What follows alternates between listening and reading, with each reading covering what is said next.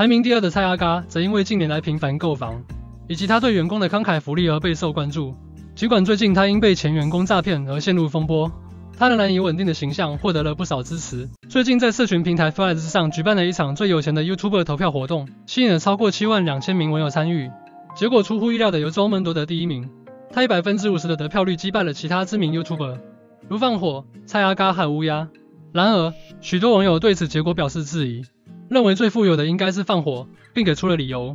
投票结果揭晓后，周门虽然赢得了冠军，但他自己却表示不相信这个结果，并强调我肯定不是网红圈里最有钱的那个人。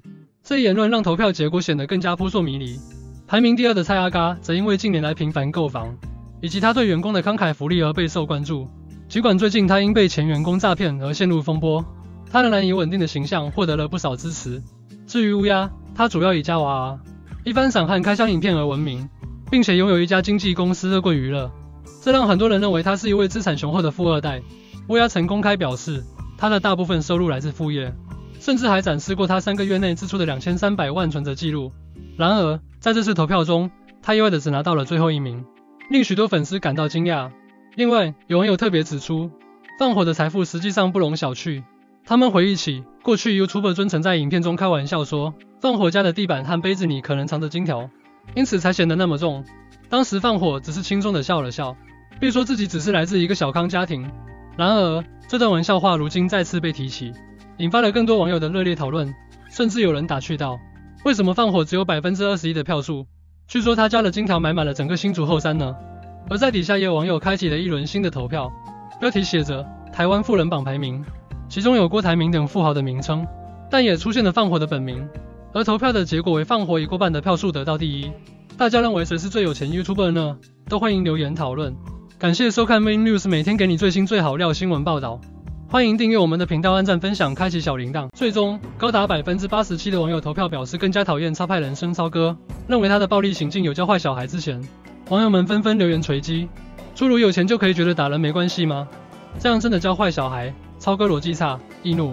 一项关于比较讨厌统神还是超派的网络投票，在短短一天内就吸引逾五千人参与。结果显示，高达百分之八十七的网友表示更讨厌知名 YouTuber 超派人生超哥，认为他的行为有损教育小孩的榜样。这项投票最初是在网络论坛 The Card 的 YouTuber 版发起，题目是比较讨厌统神还是超派。这场投票不仅点出了网友对暴力行为的强烈谴责，也反映出言语上的错误同样会遭受大众挞伐。亚洲统神曾因在线上直播时。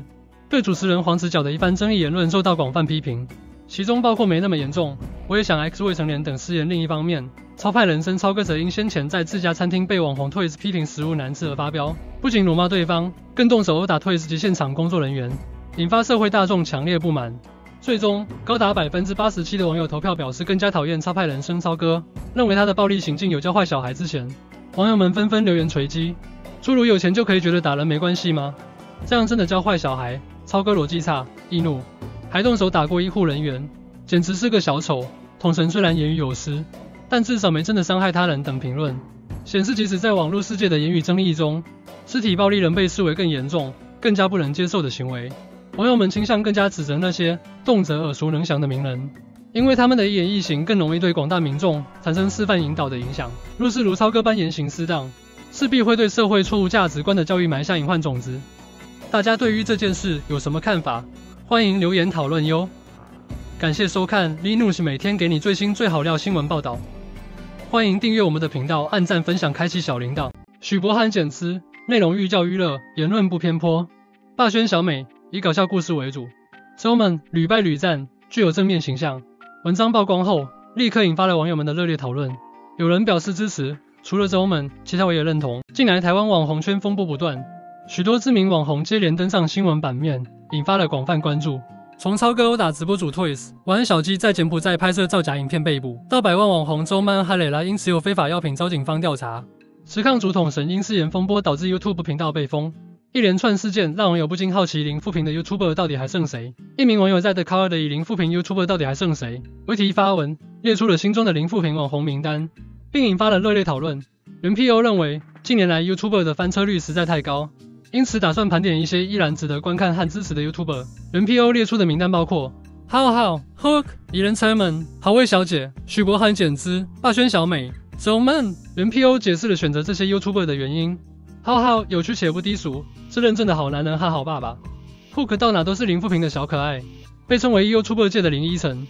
蚁人 Simon 内容励志和正能量，鼓励年轻人，并推广自己的理念。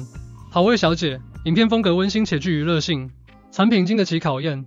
许博涵简思，内容寓教于乐，言论不偏颇。霸轩小美，以搞笑故事为主。周们屡败屡战，具有正面形象。文章曝光后，立刻引发了网友们的热烈讨论。有人表示支持，除了周们，其他我也认同。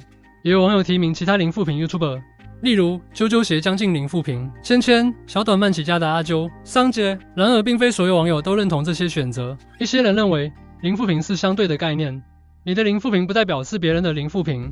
每个人都有犯错的时候，在那边零不零负评的每个人看待事情角度不同，同一件事会有人喜欢，不喜欢。也有网友提醒大家要保持理性，不要过度神话 YouTuber，没有谁是零负评的。有粉丝就会有黑粉，请不要把 YouTuber 捧得太高。大家对于这件事有什么看法？欢迎留言讨论哟。感谢收看 Linux 每天给你最新最好料新闻报道。欢迎订阅我们的频道，按赞分享，开启小铃铛。随着该议题的持续发酵，其他网友纷纷回应，提出了他们心目中的清流 YouTuber。这些提名包括了浩哥、赫克、莫彩希、许博简之。好味小姐，台湾知名网红周敏和蕾拉近日因涉嫌持有非法药物被捕。此事件不仅对他们的公众形象造成严重损害，也引起了广泛的社会讨论。